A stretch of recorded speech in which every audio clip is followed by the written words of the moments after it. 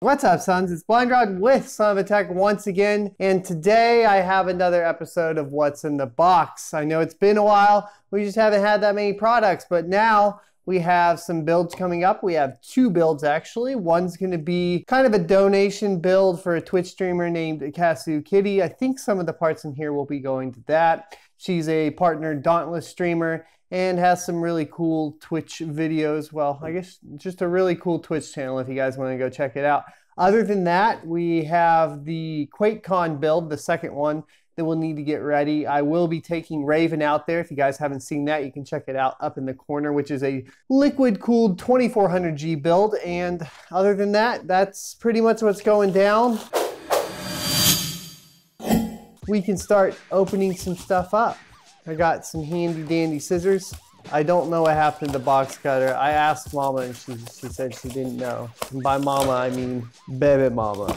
All right, so in here is one of the tools we'll need for Kasu Kitty's build actually. This is a rivet driver.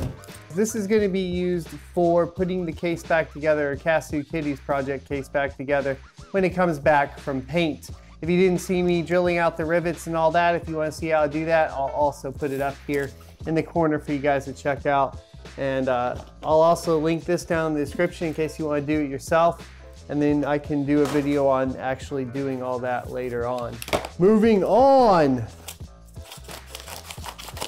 There we go. Ah, here are the lights we'll need, RGB LED strips for Kasu Kitty's build. I use these Phanteks. They come with the converter, by the way. I meant to tell you guys that. And they are magnetic and they just stick really easily and they're really easy to place and they, they I don't know, they're just the best all around for like price, convenience, and so on. And they do work really well, of course, with uh, Phanteks cases. This one should be fun. I don't, I don't even know, I don't even have an idea of what's in this one. Ooh, okay. Here's another piece to Kasu Kitty's build. Here is the 550 watt EVGA B3 power supply. I don't remember if this is fully, yes, this is a fully modular power supply and it's bronze rated, not gold rated, but it's a fantastic power supply. Highly recommend it if, uh, if you're looking for something, you know, that's not like super high end it'll get the job done. However, it is also modular so we can keep all the cables as clean as possible. I think I know what this is.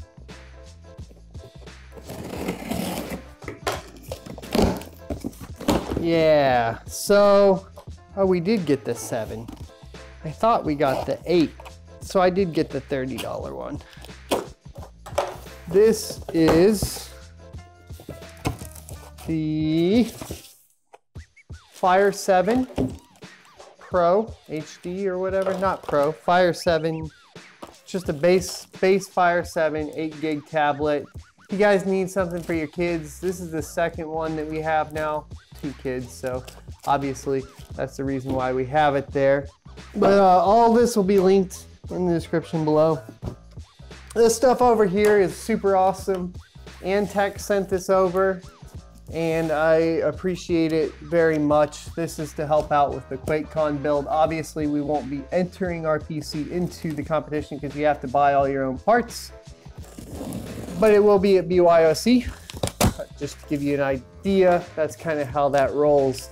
This is beastly. Holy smokes.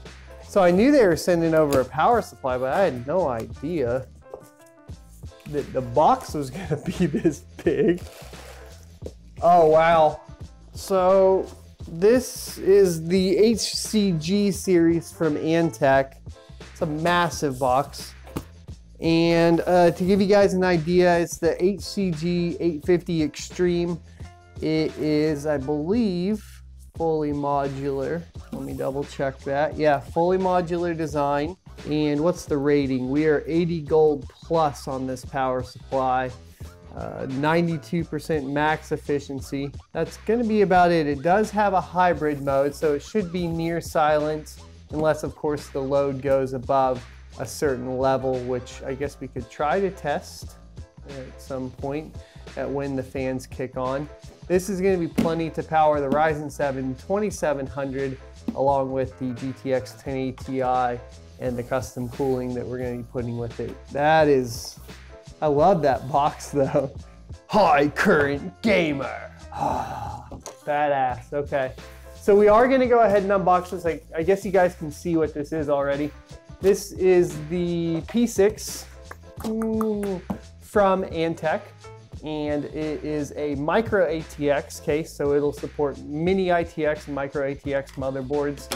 It's a little bit smaller form factor. We'll pull it out and kind of get a general idea of what it is. Of course, stay tuned, hit the subscription for, of course, all of the builds that all of these parts are going to be going into, as well as individual case review for this case, uh, because I'm not going to be able to cover it all here, and I won't have built in it yet. Okay. So I don't even know if this is tempered glass. I actually requested another case that they apparently only sell in the UK. And so she's like, we just released this case. I have no I have no idea about this case. I don't know what it has. It actually makes it more exciting for me. So I usually get used to seeing all of the cases before ever grabbing one myself. It's got some heft to it. It's like a mid-tower size, I would say. Yeah, I'd say this is about mid-tower. Uh, it's got the fan filter at the top here, which will probably get removed in our case, but you do got one, basically. Looks like there's a front fan filter that fell down. We do have tempered glass, but this is actually not the tinted tempered, which I prefer um, because it's already dark enough and getting lighting right and the rest of them is pretty rough. I am gonna have to throw the mini ITX motherboard in here and see if it'll really fill it out. I think once we get everything in here, we'll be able to tell. It does support mounting, is that one mount? No, okay. We'll have to see, actually. Because it looks like this swaps out, interestingly enough. I think you can actually put a GPU in vertically, which actually is, would be exactly what we'd want to do. Lots of basement space, tons of space. Um, I don't think we'll be able to fit a 360 millimeter rad in the top, but we'll sure. Actually, you probably can because you're going to do a 240 in the front. Let me look at that. I'm getting an idea of what I need to order for, for radiators. 240 in the front. So because of that though, I think there actually ends up being room in the top. I'm not gonna lie. I think we could probably mount a radiator in the top because the 240 ends here because it actually still has a cutout for a three and a half bay drive right there in the front, but it's not used.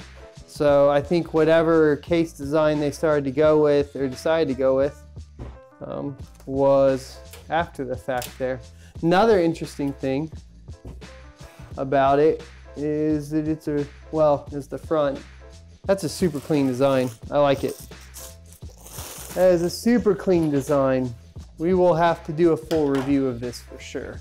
I actually really like the front of that too. I haven't decided on a theme for this build yet, so if you guys have an idea, let me know.